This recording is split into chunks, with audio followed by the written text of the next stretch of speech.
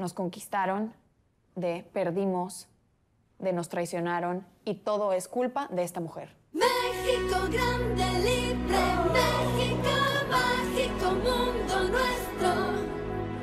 México azteca, maya,